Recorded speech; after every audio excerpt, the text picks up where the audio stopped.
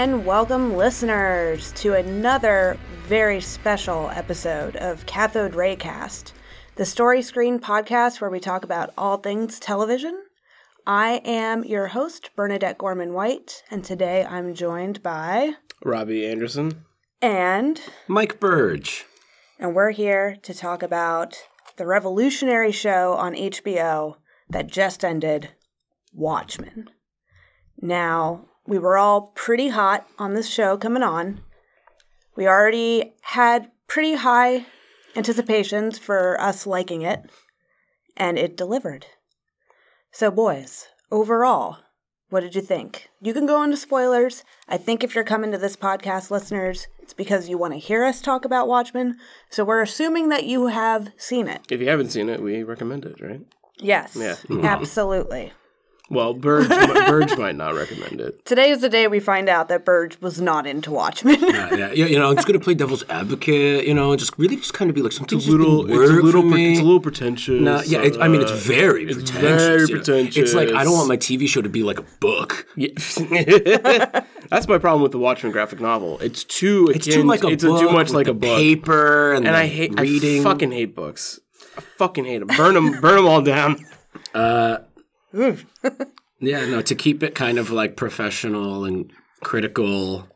Uh, this this show's fucking awesome. It slaps, it fucks, it does all the good things that I want it to do. Yes. Uh, I had a great time watching it. It was a lot of fun because it would be on Sundays, and the three of us would kind of catch it because the three of us are the um, like the heart, lungs, and brain, the organs that run Story Screen Beacon Theater. the Wizard of Oz. yeah, like we're in there. Uh, Our water cooler is is behind the counter. Yes. Yeah. And we would all just kind of be like, "Can you believe it's still like good?" Like that was my shock every week. Was Every like week. it's still good. It, and not only is it good, the last episode was great. There's no way it can get better, and every episode, pretty much all the way through, finds a way to be better. yeah. Until the final episode, where it just finds a way to kind of be an ending, but also a conclusion. I don't want to get ahead and everything, but I think that was one of the things that I really like talking to you guys the most about was can you believe how good this thing is? Like, it shouldn't be allowed to be this good. It shouldn't work as well as it does. And it, does. Yeah, I, I mean it's one of my favorite shows of the decade, without a doubt. Uh, I I fell in love with it. I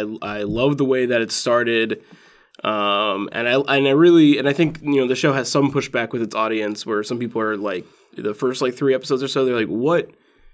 Like, why is this a Watchmen show? Why is this just not like a different show in the Watchmen universe or something like that? And then it kind of really comes together in episodes like four and five. And then once it kind of goes full circle with the source material and the show, it kind of like really starts to, you know, coalesce into one singular like Watchmen single uh, sequel that's like really strong. But uh, yeah, you know, it's it's really a feat in terms of like doing adaptations, doing sequels. Uh, you know, David Lindelof is able to kind of like uh like retcon and change in the in the most eloquent way possible like more than like i think any creator who's like building off of nostalgia which is the thing that a lot of creators do right now has ever done. Um it, it- the show is brilliant. I love what it's doing. It's it's crazy how you know watchmen never didn't feel modern and this feels so modern now. And uh you know i'm a big i'm a big lover of the graphic novel and i'm and i'm more I, I don't think we there's a lot of reasons we, we live in the bad timeline but in the bad timeline we get the best watchmen show so that's the trade-off you get you know mm-hmm. Yeah, Lindelof definitely took it to heart that he knew he was bringing historical accuracy to this Watchmen series. And so the way he took this graphic novel and adapted it to our modern times, like you said, Robby, mm-hmm. is very cool to see, especially because he intertwined actual American history into the story, because obviously the graphic novel also has American history built into it until it doesn't, until it becomes its own spin off of what history did in this Watchmen universe. right But he took that, the Tulsa riot back in 1921, that actually happened because that was pre timeline change for the Watchmen story. yeah And so, so cool to see him, as you said, make this super modern and add his own spin in a very genuine way. Yeah. And I know Damon Lindelof, as a white man, kept arguing with himself, saying, Am I the right person to tell this story? And then he assembled a crack team of writers, set designers, Directors. yeah, directors, costume designers to bring this to life. And he's continuously said, This isn't my baby. Mm-hmm. And it shows. It is a well woven masterpiece of all of these different lines of thought and thinking and experience wrapped into one. It's very, very good. The the show is woke AF. I don't think we can argue that. It is the wo- it's- the wokest show I think I've and ever it- seen. And it is very, I think it's very responsible and respectful of everything that it's doing, both to its source material and the real life that it is creating alternate timelines of across the board. I think it, it does that with gender, race, religion. Fuck. I mean, it even kind of like, it gives you, I think, one of the most honest interpretations of why a white supremacist actually genuinely feels that they are right in this. Does that mean that I agree with them? No. I don't think the show agrees with them either. No, not at all. But I think that you really do, and that's what the best thing is. Like he gets this great villain monologue, and again in spoilers. Yeah. Uh, he gives this great villain monologue, and then just just turned into goop. But like in that monologue, you're just like, yeah, this is this is the whole thing. And it's uh, white supremacy is not a very difficult thing to understand. It's rooted in jealousy and hate and fear of the other, and The like your own says it all. self worth and stuff like that. Exactly.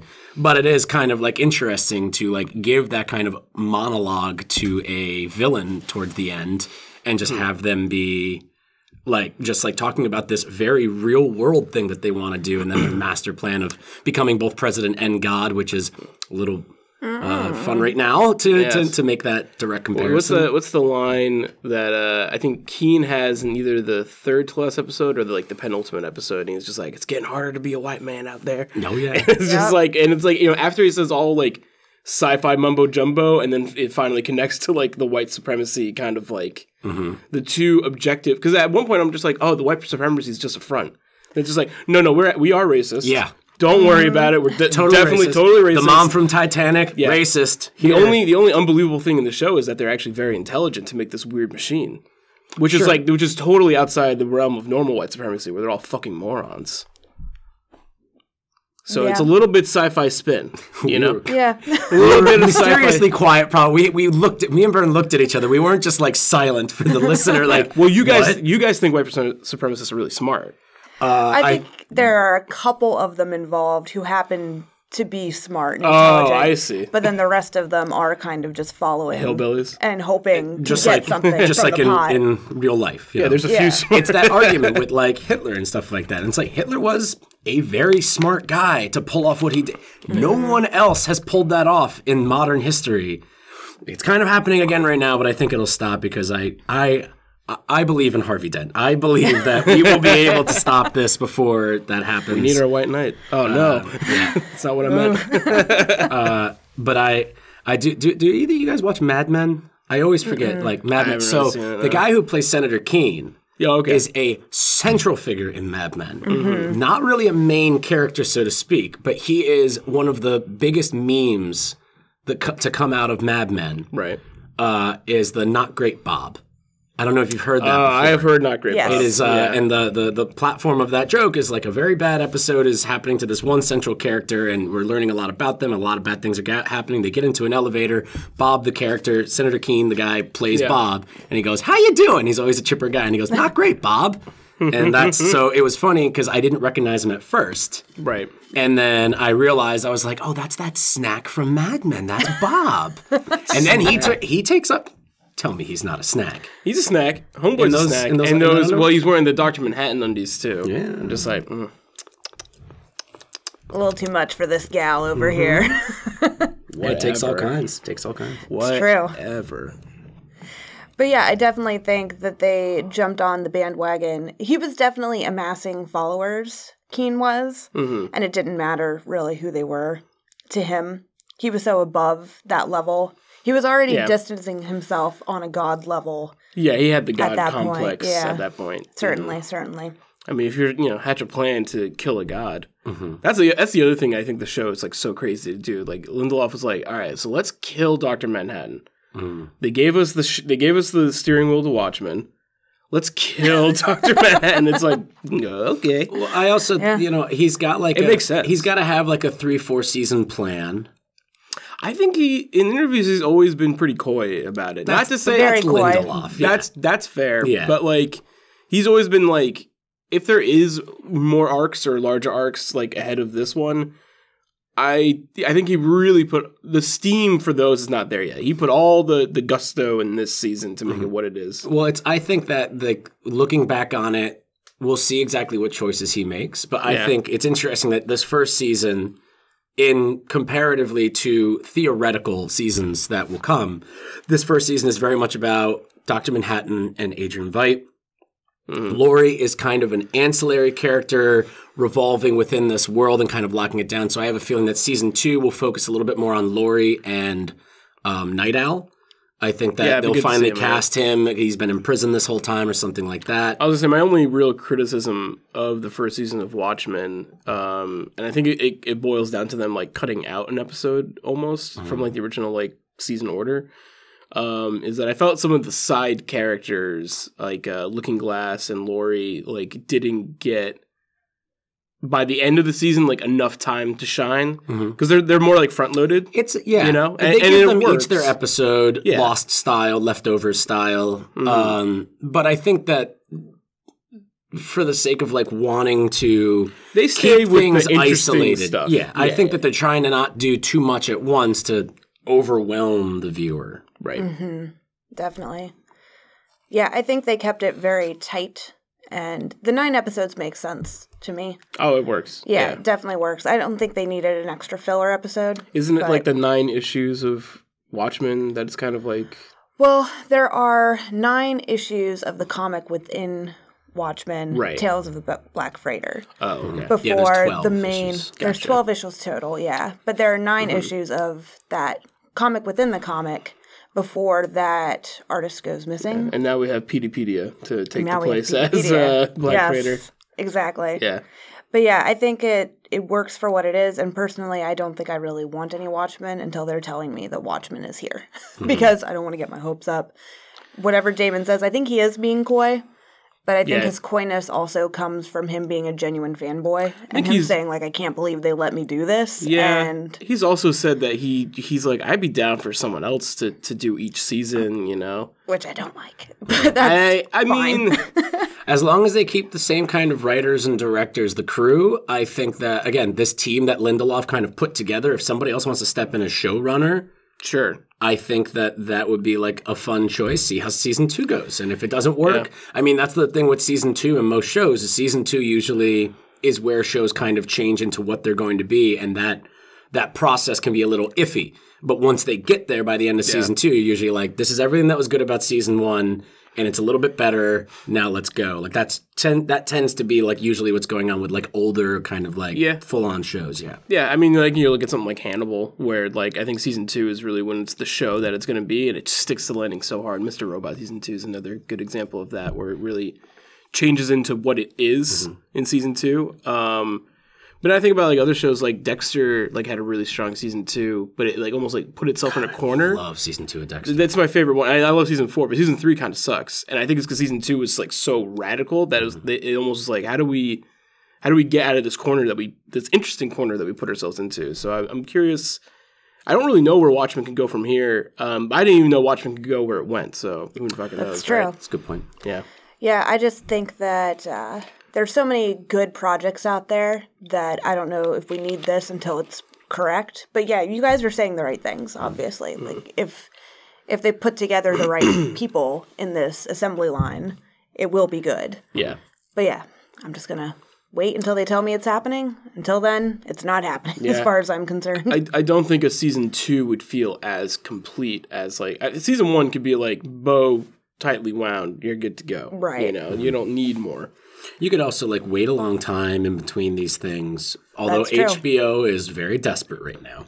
They also, I feel like they, HBO does not have their Game of Thrones anymore, so they are like, fuck. yeah. I mean, they also they're.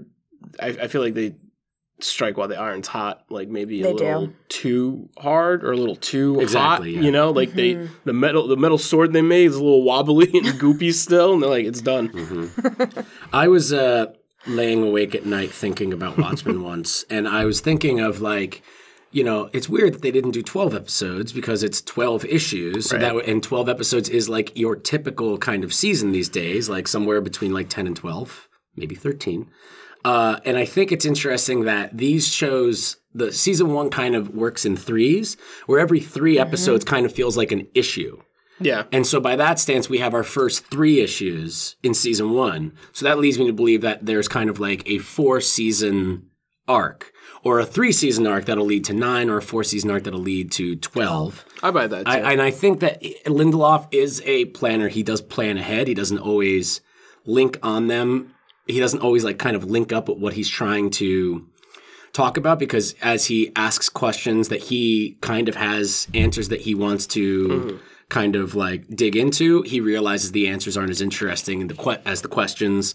This is why some people don't like Lost or Leftovers or certain things that Lindelof does. Or it's Right. like, no, that's the point. You know, you if you're going into Alien Covenant and you want like answers to Prometheus, even though Lindelof had nothing to do with Covenant, its Covenant is very much a reaction to the questions that Lindelof was raising in Prometheus that he didn't answer, much in the same way Last Jedi is a response to Force Awakens. It's very interesting in that way, where J.J. Abrams on Star Wars and Damon Lindelof on Prometheus, these sci-fi movies, who are known for like their mystery box questions, answers, tactics, and writing, Yeah.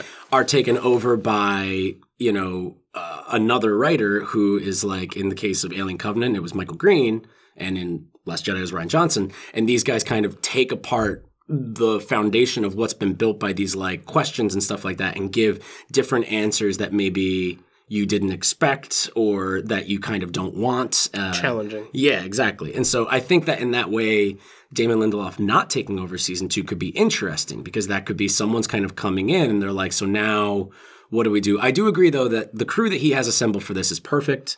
I think that it's very much on them as They well might as him. they might promote from the inside to showrunner. Exactly. well, Nicole you know? Kassell I, I think that proved herself an good. amazing director. Choice, yeah. Like she'd be a great showrunner. Yeah, I mean the only person that like is like a mainstream TV showrunner that comes to mind is um, uh, Noah Hawley for me. But like you know he's more his, his strength is more in like the psychedelic than I think it is in what Watchmen's necessarily doing. But I do think his spin on something like Watchmen would be really cool mm-hmm. because Watchmen like from the page is like very colorful and psychedelic with its like you know bright warm hues and you know like Doctor Manhattan's kind of like the outlier color in like that thing. Yeah, all the stuff on Yeah. Mars in the comics is like straight out of like Strange Tales, Doctor Yeah, Strange. it's stuff, cool. And there's no reason why a season two of Watchmen can't be a little bit more psychedelic than Absolutely season not, one. yeah. Like I, I would actually invite a tone change. I mean, if you have Regina King b- maybe becoming this Doctor Manhattan mm-hmm. lady thing, you know, I, I think that'd be a psychedelic experience. Mm-hmm. Well, Noah Hawley also did uh, Fargo on FX too, which is not psychedelic. right, Yeah. So he has other capabilities. So for he can make. Watchmen in the snow. Mm-hmm. I mean, but I totally understand what you mean because Noah Hawley's kind of shooting style and cinematography instincts do lean more towards the psychedelic. They do kind of he does he uses lenses and aspect ratios in a way that kind of mess with your viewership. Kind of like the Regina King episode where she's uh, Angela, sorry, which she uh, goes through like the memories and stuff of her grandfather. It's an insanely psychedelic episode Yeah. that is really kind of hammered down by color and framing that I thought was like so. God damn it, this goddamn show is so much fun. Every episode is so unique. That that episode, like like uh, Terminator Two style, like like destroyed my body till it's just a skeleton and blew my mind so hard. Like that, I you know, if you weren't, I think the Looking Glass episode. Mm-hmm. That's that's when the show really starts like fucking kicking ass. Well, like kung fu style. Like Tim Looking Glass is great. That's true. yeah. Well, like you know, the Looking Glass episode happens, and you're like, "Holy shit! It can't get any better than this." And they're like, "Keep your fucking dick in your pants." And then they, then they have She took his pants. He can't keep his he dick can't his keep pants. his dick in his pants. Mm-hmm. And then you get the uh, nostalgia episode, mm-hmm. and then after that, you're in Doctor Manhattan Town. And that's like some of the most interesting stuff of the whole season. And you're just like, what the fuck's going on? And that's it's wild. That show is wild. It has like five episodes of like perfect television. Hmm. Yeah, it's so strange to even narrow down these little glimpses of plot into episodes. Yeah. Because once you start talking about it in this context, it's just so fluid. Every episode bleeds into another episode. It really Yeah. does feel like a nine hour movie Yeah. to me, or like a 10 hour movie, essentially. it's it's crazy that they stuck the landing, and that that was like always like the thing at the at the water cooler, like you know the water cooler we have behind the counter at Story Screen. Is that we what we're going to refer to? In We're always leaning. cooler? We're always leaning on the water cooler. You know, not doing enough work, just like you know, bullshitting. And we're just, and you know, every I just every week I was like, I just I, can they can they stick the landing? And like I think the last episode's like, you know, a little bit messier than some of the other ones, but it's great and it totally it totally works. It's a new metaphor for the house of cards like theory of just like the more you build up a house of cards, like, you know, like the bigger they are, the harder they fall kind of thing, or like a house of cards with too many moving parts is will fall eventually. You can only go so high. But this was just like every episode was just a new layer and build and like by the end of the first episode, you're like, look at this fully complete house of cards. That's amazing. Where are they gonna go from here? And you just keep building onto it and making it bigger and bigger. And the likelihood of it be of it failing just becomes bigger and bigger with every week. And you're like, they have to fail. It's too big right now. They've done too much. There's no way that this can be as good as the last episode. And they just keep Adrian up. In fucking space. What does it mean? It's great. It's great stuff. He he's actually Petey, Peteypedia is probably the is the Black Freighter in the meta sense, but his story is the Black Freighter in Watchmen, I think, because he's just like the stranded. definitely. he's the stranded character. He's like uh Losing touch with humanity. losing touch with humanity. He's marooned from society. Um, yeah, I love. I mean, um, uh, Jeremy Irons is like so fucking good in this show. Yeah, it's strange that I, I find it hard to really accurately cast Veidt as a character. I definitely don't think Matthew Goode was exactly the right casting for the film. He looked. He seemed the very young, Yeah, but It's a tough character to crack. Jeremy Irons is like the Veidt that I didn't know that I wanted or needed. absolutely. But he definitely works in this role. He's He- daddy. He's dead. oh, I don't know. I don't know about that. He was it was it was sold to me him being Veidt early on, but I think um, the most Veidt he's being is in the um, flashback or all time is flat and happening at once where he's talking to Dr. Manhattan, who at this point is um, Cal Abar, in, embodied. Um, and When he's kind of scruffy scarf wearing Veidt. Yeah, he has a- 80s, 1980s. yeah, he's just like. "Wow, I have to drop more squids on the ground again. He's like losing his shit because he can't take that. Yeah, he saved the world, but his And- and ego no is so knows. big. He's but like, people need to but, know. But the world also like still sucks. He's like, why did you just build more nuclear power? I gave you this, and it's it's good. It's good. Um, but like that scene where they're talking and, and he kind of has the reveal. He's like, "Pla- I'm gonna keep doing the Jeremy Irons impression. I I wanted I my plan A was to give you this thing that erased your memory, and uh, that whole that whole sequence of them talking like feels the most like Watchmen pulled from the graphic novel, like out of the entire show, and you know I think it's because like timeline wise, it's kind of the closest to mm-hmm. Watchmen proper, you know, mm-hmm. in in what we're seeing in the series as well. I mean, yeah, it's only just like a few years after their Mm-hmm. big talk at the end where it's just like, do you think it was worth it? Right. I mean, it really is like, it seems like the full crux of season one is the relationship between Dr. Manhattan. Watchmen. Mm-hmm. Yeah, But, and specifically Dr. Manhattan and Veidt, and not only their relationship to each other, but their relationship to the world. And like, what does Dr. Manhattan mean to the world? And what does the world now mean to Dr. Manhattan? And that's a hard thing to pin down because Dr. Manhattan is constantly living throughout all timelines and stuff like that. And he knows what's going to happen. So creating this kind of thing where he's in love. Well, he's he's more he's more like man. He's more like human than Veidt is, despite being so out of time. Because like, and that's always been Doctor Manhattan. Like, This is the God, the he- God complex. yeah. Always he he's always subjugate subjugated to love. He falls in love with these women who he probably shouldn't be falling in love with because he kind of ruins their fucking lives. they all seem to be very affected. That's kind of the thing that I, I like that the show really I, I think solidifies is like you have sympathy for Doctor Manhattan, but like he's kind of a dick. Like he's not that good of a dude. He doesn't have people's best interests in heart. Like he makes a society of people and leaves them. Mm-hmm. He ruins many women's lives think over the course of his deity-like existence. One of the things that's the most interesting about the comics for me that I think that they kind of transfer into the show is that Dr. Manhattan is not a good guy in the sense of an optimist. He is the most realist you are ever going to get. Yeah. He is not being mean, he is not being cruel. He's like, this is the way that it is. Any choice that I make is a choice that we have already done. It has already happened. I am not changing anybody's mind. This is the way that it is. Like in literal terms. Yeah. He's not doing anything to be mean or cruel and he's and he's not even attempting to justify what's happening. He's like it is what it is. To quote the Irishman, it is, what it is. And I think that they land that very well in the show where it's Yeah. just like he is a, a hero in the sense of like he's a good guy, he's a good person, but he's also insanely realist uh, to the point where it's like there is no optimism or pessimism that can be present that's not rooted in reality Yeah. of what's already going to happen, you know?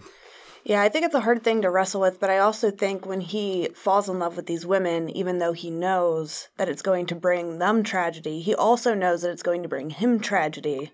Yeah. And I don't think he's like, well, I'm going to fall in love with this woman, or vice versa, make her fall in love with me.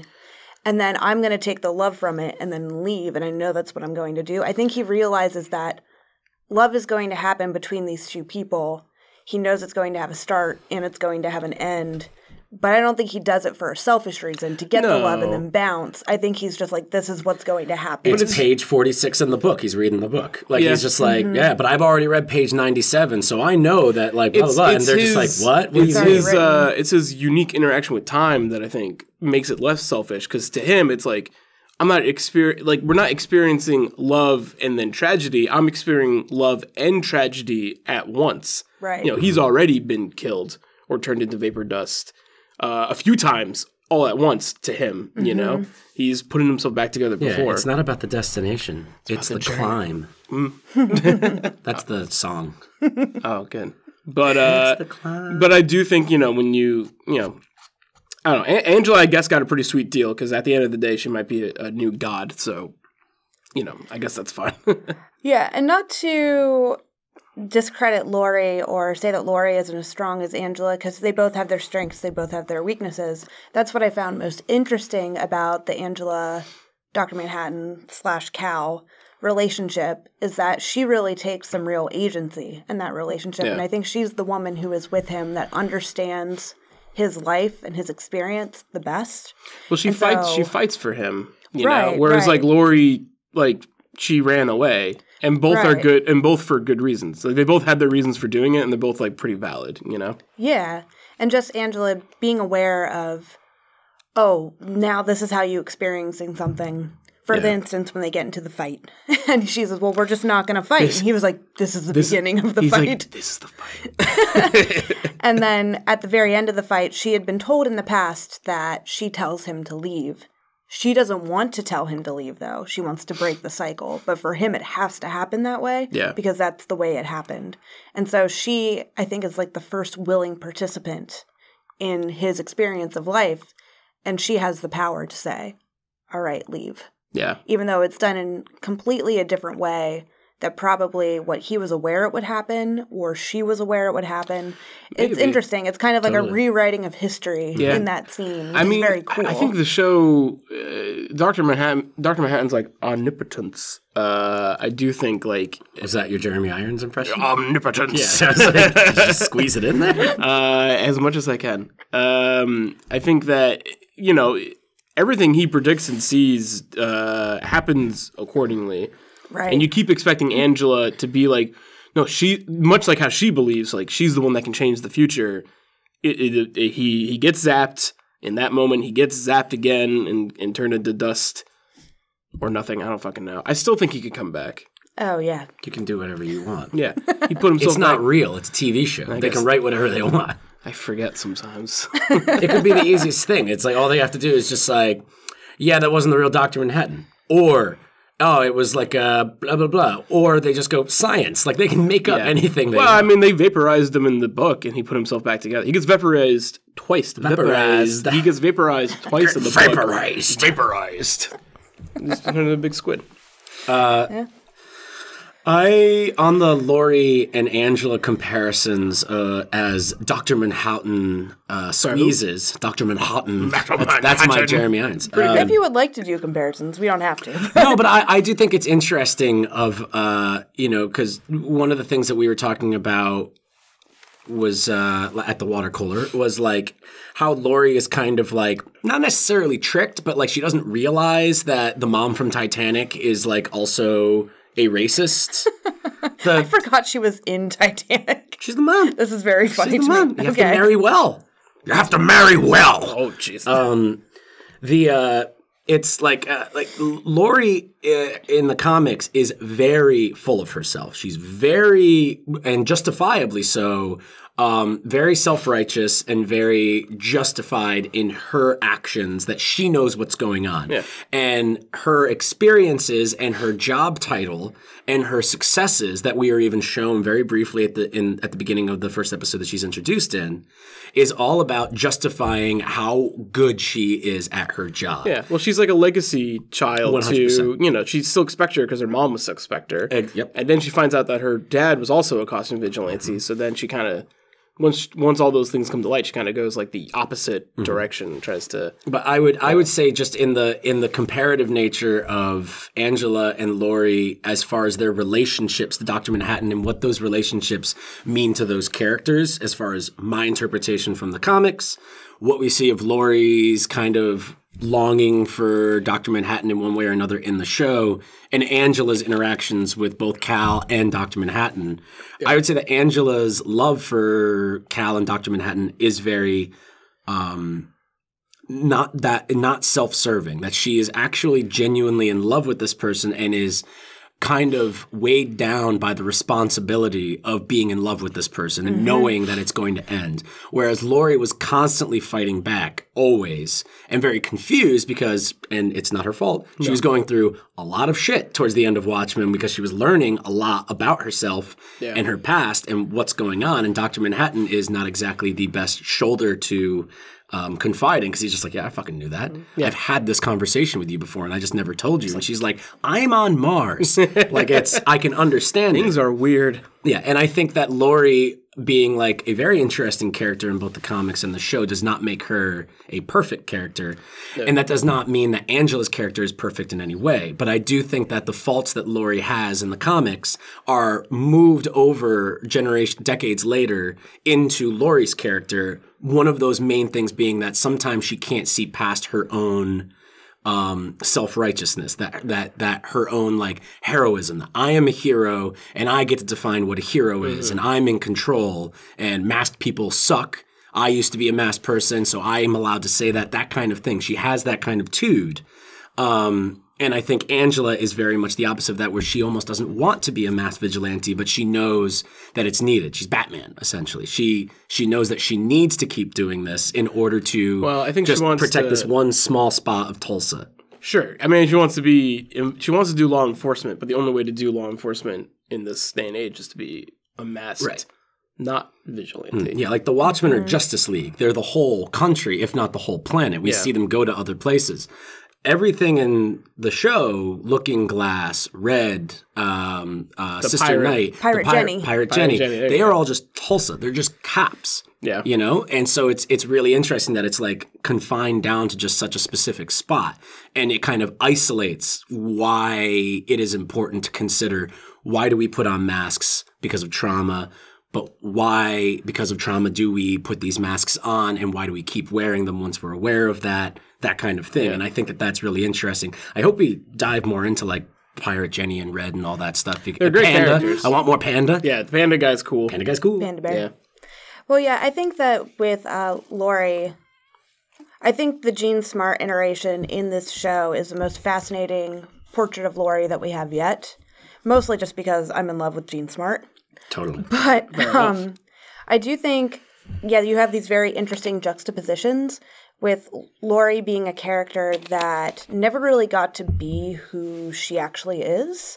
She's a person who's been told who to be her entire life, whether it be one way or another. She did the masked thing, now she's out of masks, and she chose a job where she's uncovering secrets professionally. She's always in search of like uncovering the next secret because her life has been such a secret to herself. It's a good read. That's I love that. And I love that a lot. Very, very sad to see. Angela, on the other hand, orphaned practically from a very young age. She knew her parents, but other than that, she doesn't really know her background. Her grandmother wasn't in her life for a split second before she's also ripped away from her. And she's a woman who's constantly crazy. being self made. She's Yeah. constantly Yes. in charge of her own decisions and direction in life because she has no one else to tell her what to be. And she may be a little bit influenced by her early life experiences, choosing the life of being a cop. But she chooses to do it pretty much on her own volition. Yeah. And so you have these two very different women that Dr. Manhattan is with, and you can tell that that is an illustration of the conflict within him, too, of what he's looking for in life. Being told what he is and what he's going to do, or can he have the choice to maybe change things? Mm-hmm. And I think he does hope to see Angela as like a way out of this. Mm-hmm. And then Veidt gives him the power to be able to do it entirely Yeah. until he's not anymore. He gets to be a normie for a little bit. A normie. Yeah, and Angela and Dr. Manhattan do seem to have like the most connection than his other spouses and relationships. Uh, I would say almost as far as like, you know, she's almost as maybe as important to him relationship wise as Veidt, who he seems to like, he is genuinely interested in. Um, because I think that they both share the kind of the God complex where Manhattan, he can't control it. He is a god, so he has a god complex, and Veidt has a god complex because he he will never be Doctor Manhattan. Yeah. and he wants to be. I also think Dr. Manhattan like is very narcissistic when it comes to other humans, but Veidt is very like believes strongly in the power of men. Mm-hmm. Like, well, and- again, and man- is man like, it's not humanity, narcissism; it's it's you know? realism. Like he's Yeah, like, he's just I like, already no, these know what's going up. to happen. Yeah. Yeah. Whereas Veidt is just like, if I just do this big, if I give them a little push, they'll they will they'll figure it out. They will do it. Yeah, and it's because I did it though. So it's like kind of that relationship to humanity. Mm-hmm. Whereas like Dr. Manhattan's very distant. And you know, it's the irony is that people look to him as as the god they've mm. always wanted, while you know That's the big like, irony, hidden. to use that word too, of the end of the comics, which is Veidt asking Dr. Manhattan, like, do you think it was worth it what I did? And this is coming from a, a character that for 12 issues, over the course of over a year that these things have come out, we've seen he's got little toy figures of himself on his desk. He's got statues of himself in his room. He's got bases all over the place. He calls himself the smartest man in the world. This is a very egotistical, ego driven person yeah. who likes to be in the spotlight and the point of attention, and his entire plan is to do something secretly, we know that even if it does work, that he has to tell people that he did it. Hmm. And one of the most interesting things that the show does is that it shows years later he still hasn't told people and it's driving him insane and he need he's almost trying to like self-sabotage himself and the only way that he's like, I can't do this because it will ultimately destroy the world if I tell them that I did because they'll just blow each other up, is to be sent away. And he thinks that's what he wants, but it's not. It is not what he wants. Save me, daughter.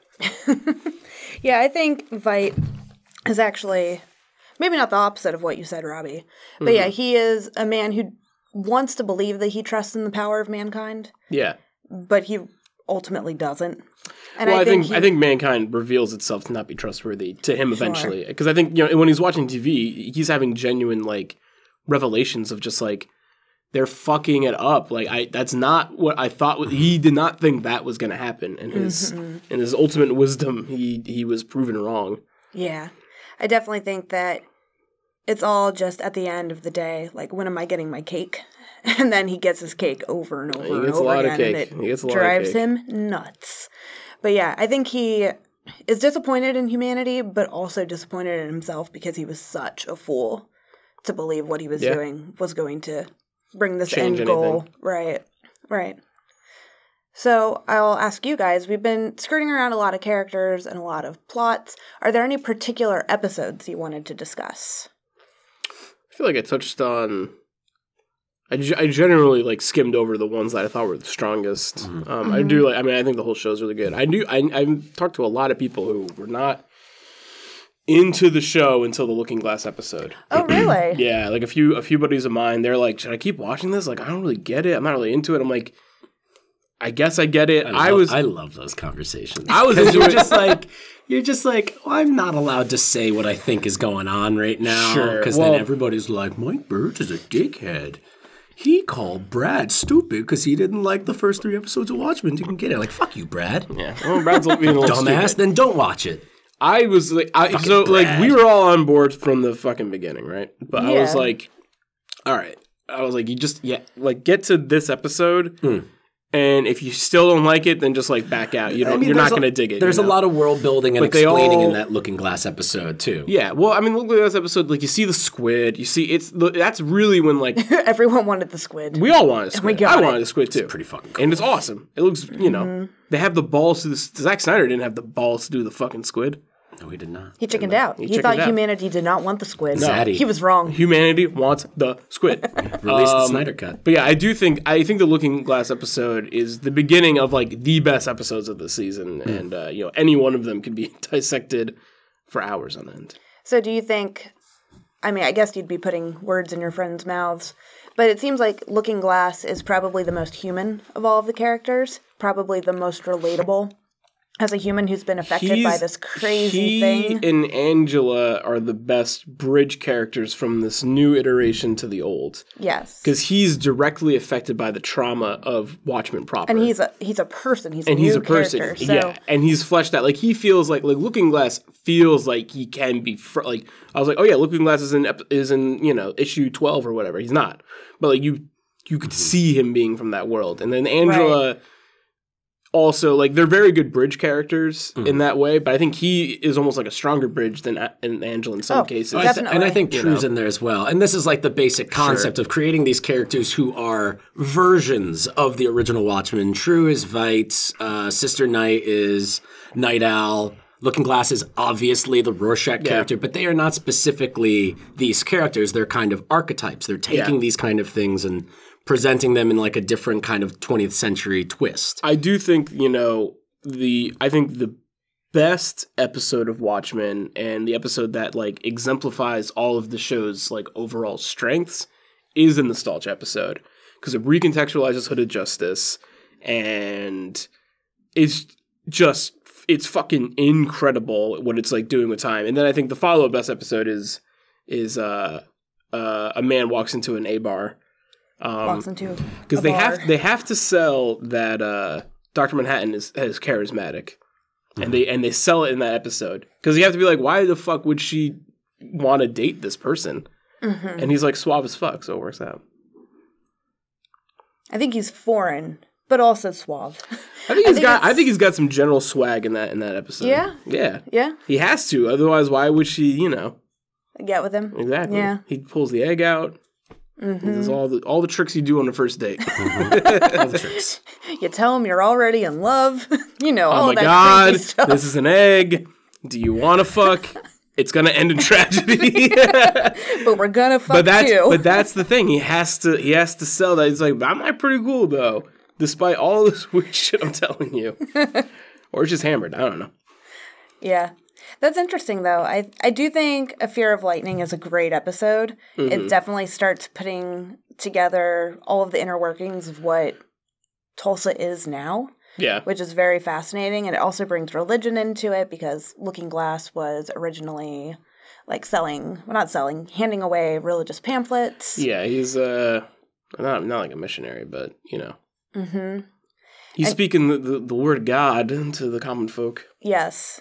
So yeah, I definitely think it's a good bridging episode. I'm I'm shocked though. I didn't realize that a lot of people, or a lot of people you know, weren't into it until that episode. Yeah, I mean, I I get it, and I don't. I mean, like, I don't get it because I'm like, the show's great. Uh, Even if it's like, even if it's not like super Watchmen-y at that point, like, it's still like awesome. But uh, you know, I think some people, everyone has when it comes to like reading stuff, like that's when people can really have like wildly different interpret- interpretations of it, and it's like. You know, Alan Moore has that great quote when people come up to him and be like, dude, I love Watchmen on Rorschach. Like, on Rorschach. And he was like, get the fuck away from me. And, you know, like, those people still exist. Or, like, Zack Snyder is the person who read Watchmen. He's like, Rorschach is the coolest character. It's like, that guy's a piece of shit. You're not supposed to like Rorschach. He's interesting. No, yeah. Yeah. He inspires a white supremacist His, his like, organization. like, yeah. Yeah. he bad. gives the he gives the thing to the new frontiersman, which is essentially like I don't know, like the Washington Hill or the Hill or Yeah. whatever the fuck, like some su- white supremacist organization feigning as a newspaper today. Yeah. it's Fox mm-hmm. News essentially. Like not yeah, it's like bullshit.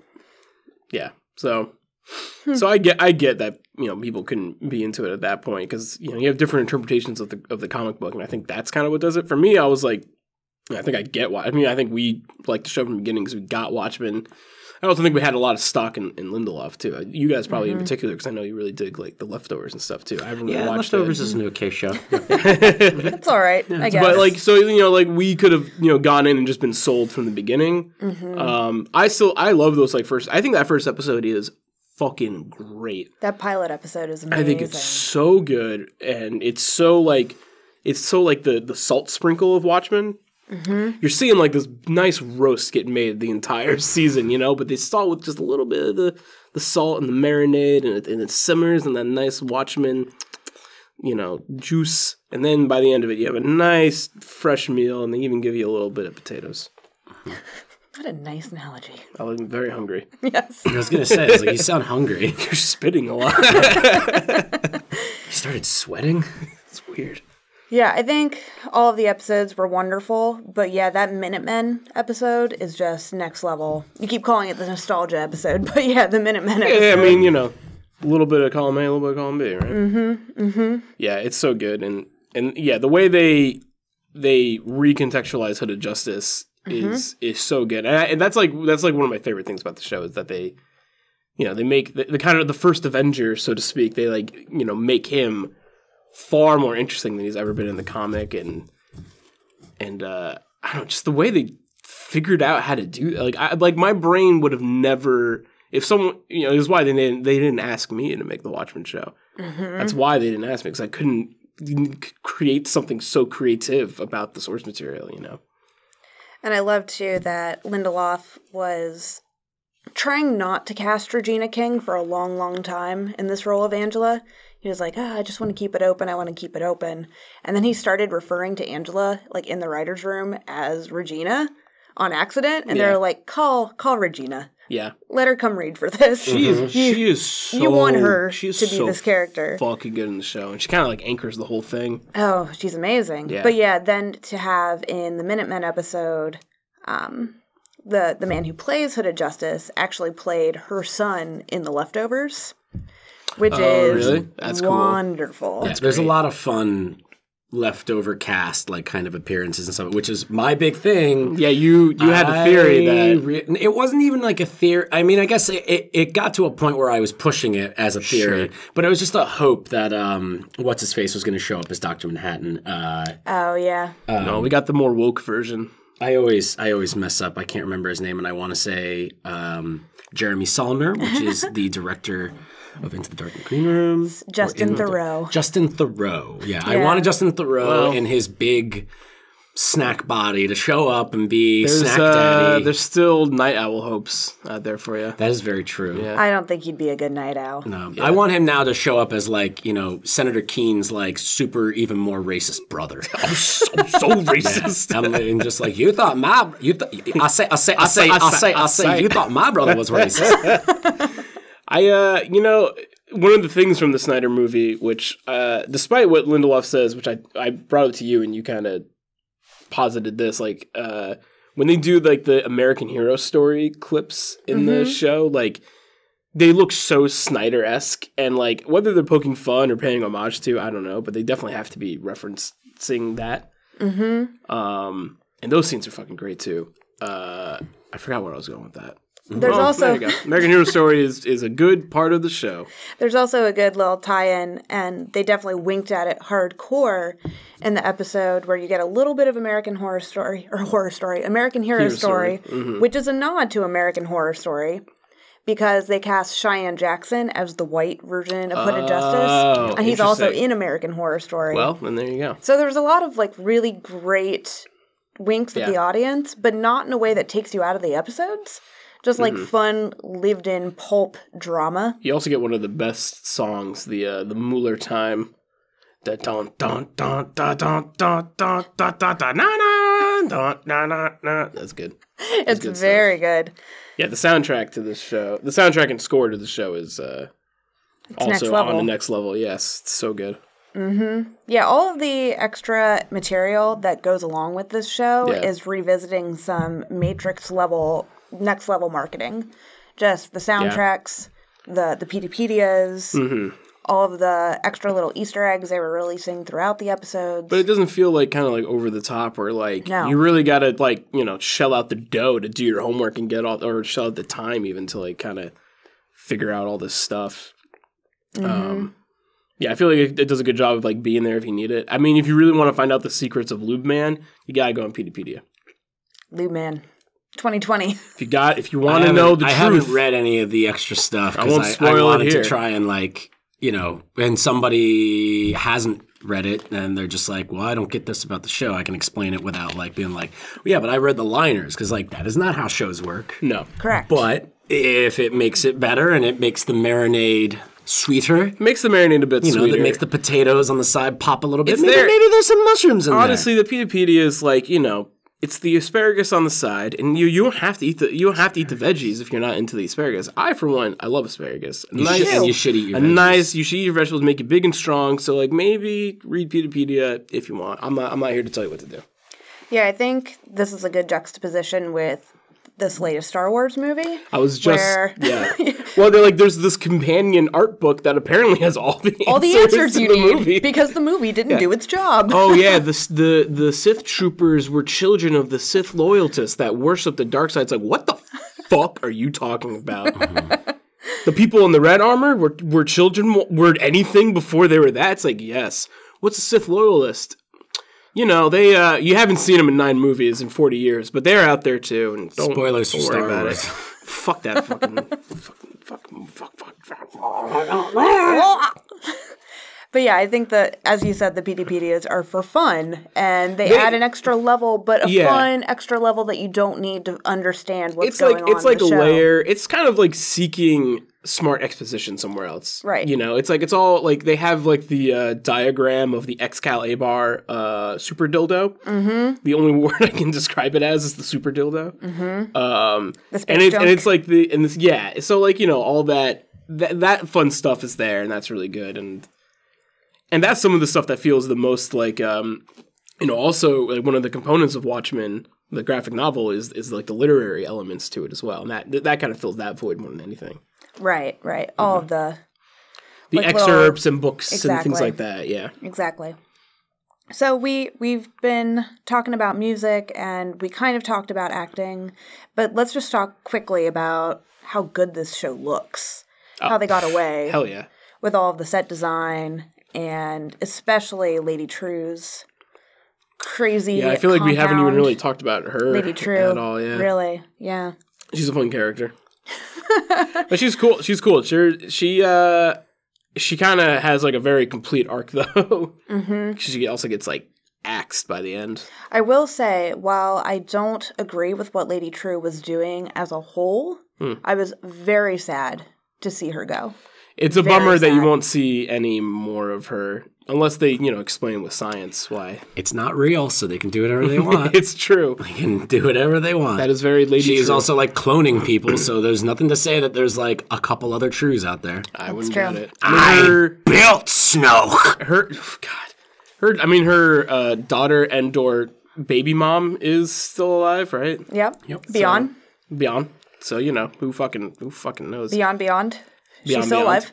Yeah, I think there's there's another quote I read where Dind- or uh, Lindelof Oh my god. Has no one done that before? Because that's fucking funny. When Dindeloff was like, uh, he's like, we're not doing Watchmen babies. Like, he was very much trying to, which is funny because that's like the opposite of what Star Wars is doing. Yes. Star Wars is just like, no, we are 100% doing Star Wars babies. That's all this show, that's all this dumb shit is. But he he was very much trying to like not just make it like this is the younger generation of Watchmen. He tried to, but Lady Trieu, you know, is a good twist on that kind of idea. She's the unwilling uh, spawn of of uh, Vi- I never gave myself to a woman. I mean, she did get the stigmata in that last episode, so maybe she'll just go like sleep for like three days and then rise. Maybe, Maybe. she'll come right back. I saw Who a knows? big thing fall on her face, so I don't know. That's true. we'll see. All right. Well, I feel like we definitely did a lot of talking as the show progressed throughout the nine weeks that this show was on the air. Yeah.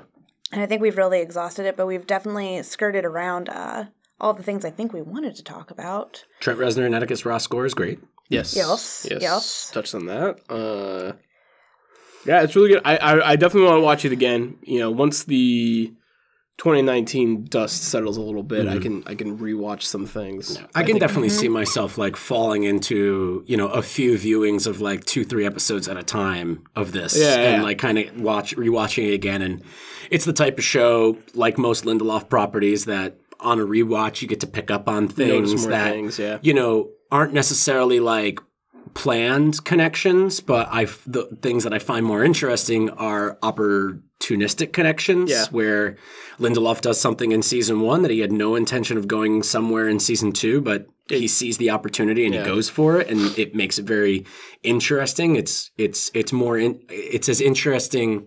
It's not more interesting. But it's it's the type of interest that you get in somebody improvising something as opposed to somebody doing a very good performance of something scripted. Sure. It, there's something that is impressive mm-hmm. about not only the ability to perform well, but to just kind of come up with it.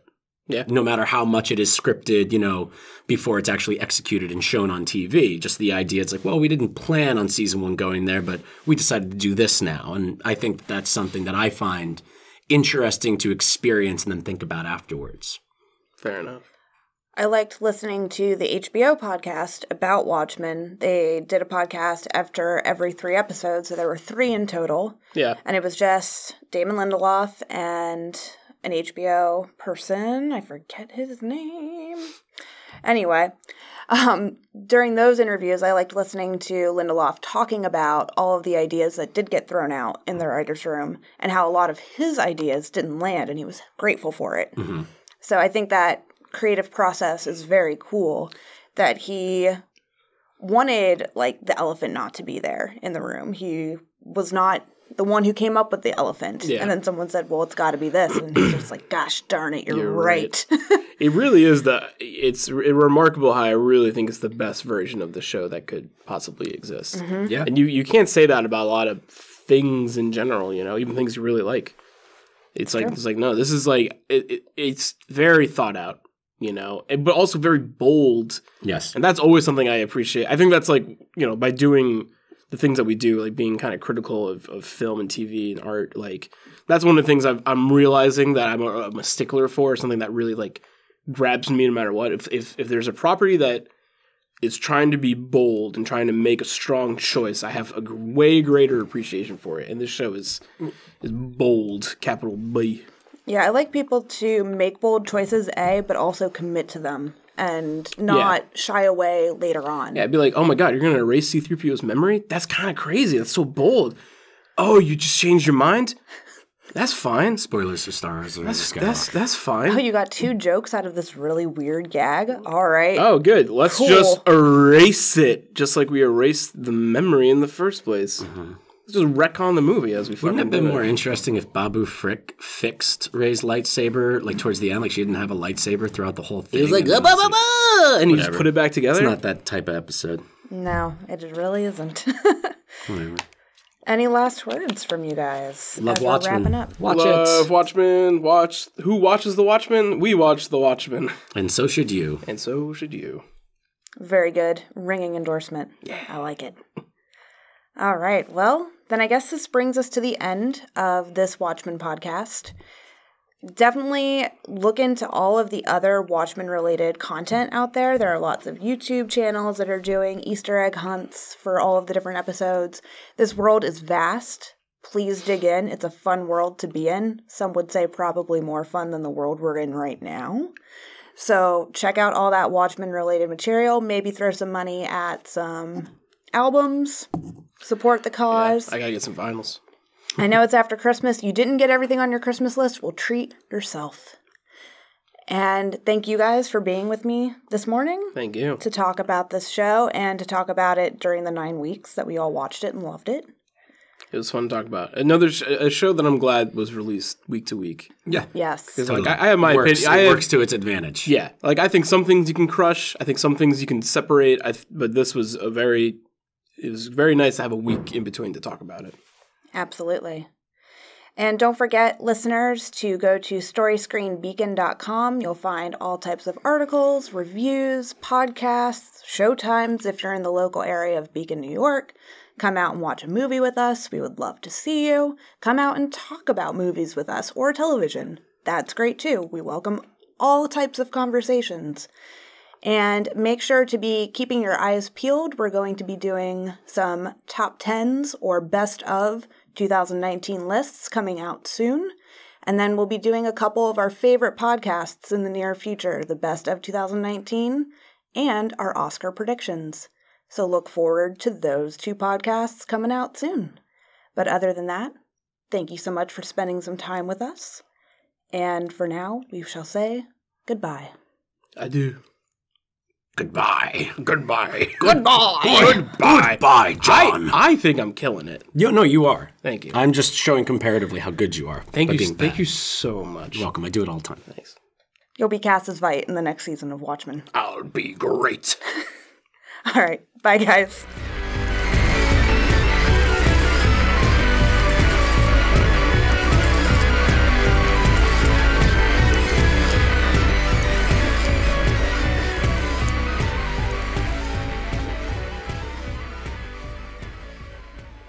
So what are we doing?